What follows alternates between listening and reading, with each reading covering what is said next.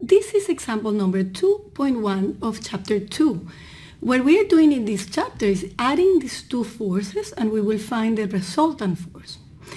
We will do it for by two methods, the graphical method and the components method. Let's start by the graphical method. As you recall from the theory, what we have to do is draw our parallelepiped. So what we are going to do is copy this vector over here and we copy this vector over here and the resultant force will be this one right here. This is our resultant force. Now we have to find all the angles that constitute our parallelepipedum.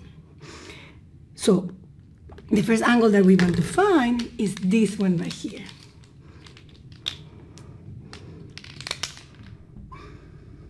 So as you recall that angle, that will be 180 minus 30 minus 45. And that's 105. So we have found this angle. And as you know, the, this angle over here will be exactly the same.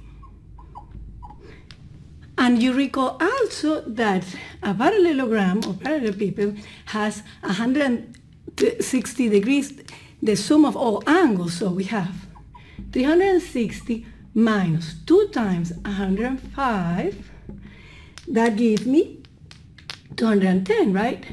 If I divide that, sorry, that gives me 150. If I divide that by 2, give me 75 degrees. So this angle over here is 75. So finally I have all the parallelogram with all the features. So how do I find the resultant force? For that, I will use the cosine law.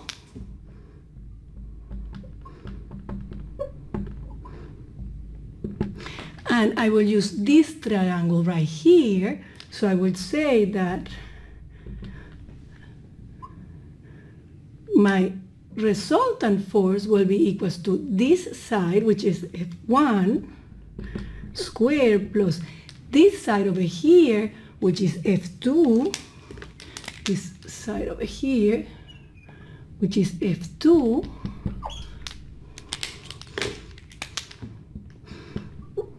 minus 2 times F1 times F2 cosine of the angle between those two vectors, which is 75 and we substitute all the values and we get f1 is 600 square plus f2 is 800 square minus 2 600 800 cosine of 75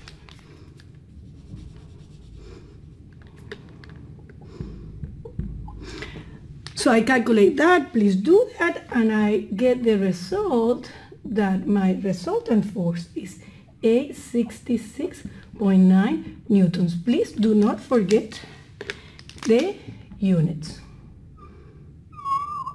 So we are we're able to find this resultant force. Now we need to find the angle of that resultant force with the x-axis. So I will find this angle over here and I will add 45 that will give me the total angle. How do I find this angle? I will use the sine law.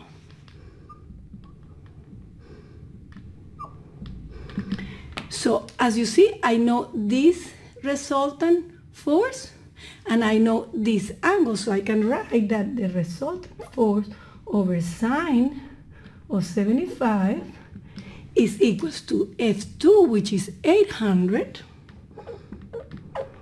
over sine of phi.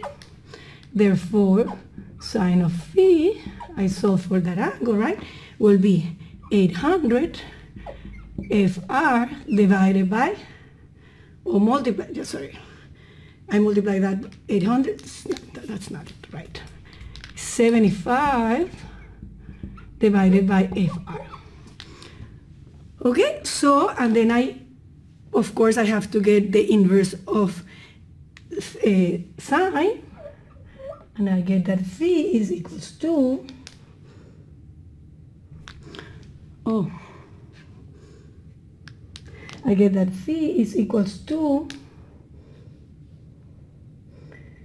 63.04 degrees. But as I said, we need the angle from the x-axis. So we have to add 45. So the angle that we need is this one right here. So let's call that angle theta. And therefore theta is equals to phi plus 45, which is equals to 108.04 degrees. And that's the result. This is what is called the graphical method.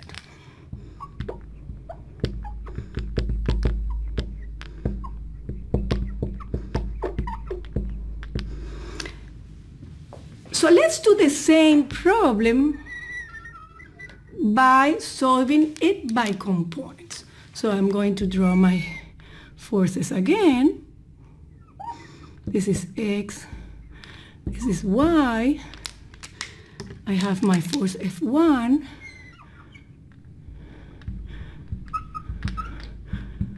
And I have my force F2.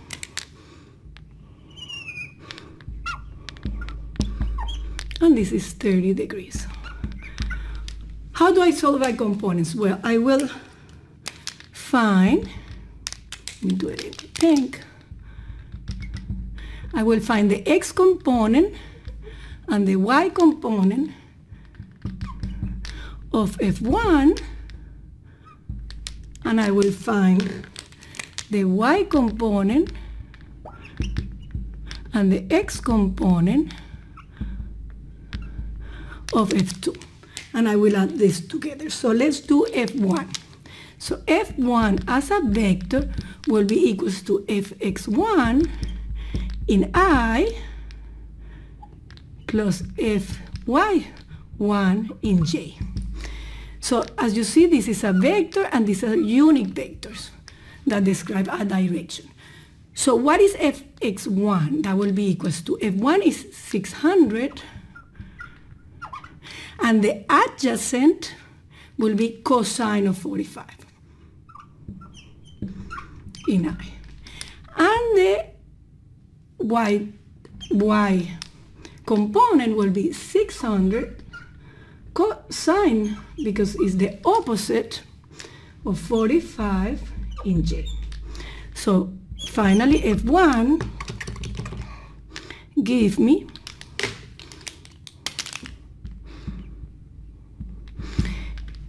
Six hundred is three hundred square root of two i plus three hundred square root of two in j and all that is in newtons.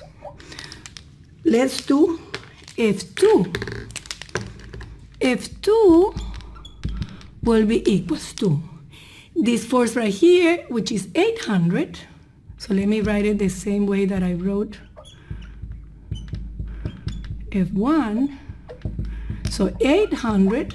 Now, the adjacent is the cosine and it's in the opposite side, right? It's in the negative side of x. So it will be negative cosine of 30 is square root of 3 over 2 in i and the opposite, which is the sine, right, will be 800 and it's in the positive side of y, 1 half in j.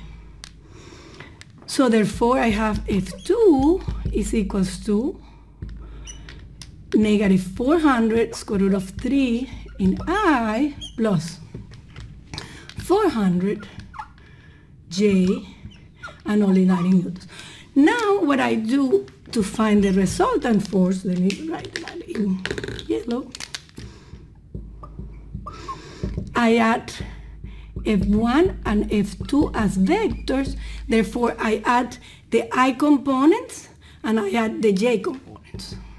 That will give me 300 square root of 2 minus 400 square root of 3 in i, and that will give me 300 square root of 2 plus 400 in j. And I have the result over here that give me that the resultant force, the first component is negative 268.6 in I plus 824.3 in J. So this is the vector, but in order to compare it to my other solution, I have to get the magnitude. Remember that the magnitude will be equals to the x. This is the magnitude, so I don't have a line over here because this is the magnitude plus the y square root of that. If I do that, I square this value and I square this value, I get that the resultant force is equals to 866.9. As now you see, I got exactly the same value that I got here with the other method. Now we have to find the direction. We can draw our vector. We know that this is a negative value in i here and a positive value in j. So we know that our resultant force is right here. So what we are going to do is find this angle over here. I'm going to call that angle phi. And that will be the tangent of the y component over the x component. So I know the angle phi will be tangent negative 1 of the y component over the x component. That is tangent of 824.3 divided by 268.6. Why don't I include the negative value? Because I already saying that I'm using this absolute value. This is fx and this is fy. That gives me a value of 72 degrees. But again, I like to find this angle. I call this theta. So what we need to find is theta, which is the positive angle respect to the x-axis. So as you see, we have to subtract 180, which is the whole angle, minus phi. So here, theta will be 180 minus phi. And 180 minus 72 is theta is equals to 108 degrees. And this is exactly the same value we got using the other method. So you can choose either method. It's up to you which one feels you more comfortable.